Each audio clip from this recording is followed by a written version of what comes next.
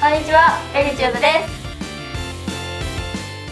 妊娠が分かったら、うん。即座にヒールをやめて、ペタンコ靴に変えました。もうピッシャと。うんピッシャって。ピッシャとやめたね。おしゃれでヒールも履きたいなっていうのうんうん。はちょっとあると思うんだけど、お腹の赤ちゃんとママの体優先でねこの時ばかりはおしゃれよりも安全面優先でうん。ね優先で。ましょう。はい。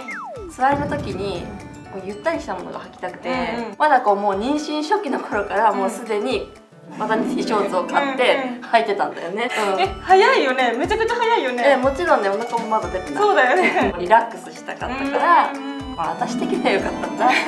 喫煙所を通る時はもうね、うん。息を止めてた。ふって止めて、うん。でトトトトって、とつうか、そう。極力タバコの煙はもう吸わないようにしてたよ。自動喫煙ねもう少しもしたくないよね。そうそうそう私はね初めての産婦人科の帰りに妊婦さん向けの雑誌を買ったの。うんわからないことだらけだから、うん。もう何面白いみたいなうん。未知の世界でうわ何このまま綺麗みたいな感じでもう興味津々で読み漁ったかな。なるほどね。私はツイッターとか SNS 派だったんだけど SNS を使って私も情報収集してたよ。そうなんだ今思い返せばうんちょっとやりすぎかなって、うん。うん思うところもあるんだけど妊娠初期はとてもねデリケートな時期でもあるからいつも以上に体を気遣っていきましょう。